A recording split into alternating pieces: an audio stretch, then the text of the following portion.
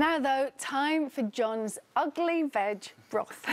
it is time for the ugly veg broth, but it's, it's, nice. It's not ugly. The veg are ugly, but the, the flavour of this broth is gorgeous.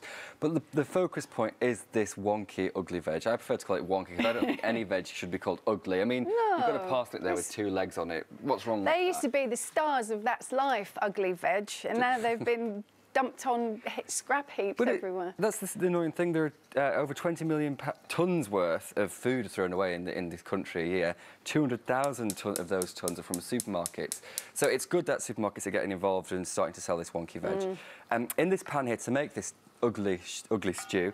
I've got my uh, onions and leeks. I'm using both onion and leek because they were both Ooh, in the lovely. veg box. I thought, why not? Yeah. I've sweated those down for about 20 minutes with a pinch of salt and pepper. Just get them nice and caramelised, get the flavours out of there. And once they go really soft, as you can see, they're lovely and not coloured, but translucently mm. uh, sort of... And very flavoursome. Very flavoursome, very sweet. All those natural sugars, that's when they're ready. So I'm going to add to that the other ingredients. So some tomato puree. And I use the double concentrate stuff because obviously it gives a bit more flavour and you need to use a little bit less. Some fresh herbs, so some broadleaf thyme because it's easier to, do, to work with, yeah. and uh, some bay leaf. And then for a bit more interesting flavour, to make it more springy, because obviously we're not we're, we're out of the hearty winter stew time yeah. now. We're in, in the age, well, in the time of, of spring. spring so. Yeah a little bit of lemon zest. And if you don't like lemon, you could use orange. Orange with star anise works really well in this, but I love lemon with the, the veg that I'm using. Mm. Um, I'm going to put a garlic clove in there. I don't bother to peel it. Uh, I, no, I do peel it, sorry, but it I don't mushes to, up anyway, doesn't it? mushes up, and yeah. it sweetens, so you don't need to actually cut it and mince it. So just mm. chuck that in. This is easy some, too. Oh, it's, it's, just a one-pot wonder, this, yeah. Fiona. In with some pearl barley. Oh. You could use pasta if you're not got, or rice would be fine. Mm. That's the thing, depending on what you get in your wonky veg box, you might not have the parsnips and carrots, which I'm going to use. So just use whatever you get, just yeah. chuck it in. So chuck all of that in. And then into that, I'm going to add some stock. I've got uh, vegetable stock here, but you could use chicken stock, which would be um, a bit more flavourful. But the vegetable stock gives a really lovely, light, springy mm. uh, flavour, so it's perfect for that. So in with the veg stock. And all I'm going to do is just bring that to a simmer, bring it to a boil, then return it down to a simmer, season it a bit, and then put a lid on and cook it down for about an hour. So okay. just simmer it very gently. And the lid, I'm not going to put the lid on completely because it might swell up and, and go over the top.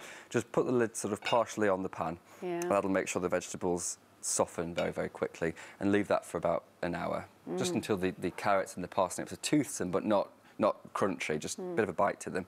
And then when they are nice and soft, Ooh. I'm going to add to that, which I have done already here, some uh, frozen peas defrosted, and some asparagus because that's still in Ooh, season right now. So just chuck a bit of asparagus in there. So I'm going to let you uh, let you taste that, and then I'm going to rummage through my veg box and show you what's in there because it's interesting to see the sort of stuff that people throw away. And part of the problem, really, Again, your hearty portion. Look how there. pretty that looks as it's well. It's beautiful, isn't it? And it is hearty. There's so many vitamins in there. There's oh. fibre. There's the barley's got protein oh, in it's, it. it's full of and, goodness. Yeah, it really gorgeous. is. And you could use can, cans of beans. If you've got cans of cannellini beans or whatever, just drain them and chuck them in in place of the barley. But what's interesting is the state of, of the, the vegetable isn't that bad. You know, look at this onion.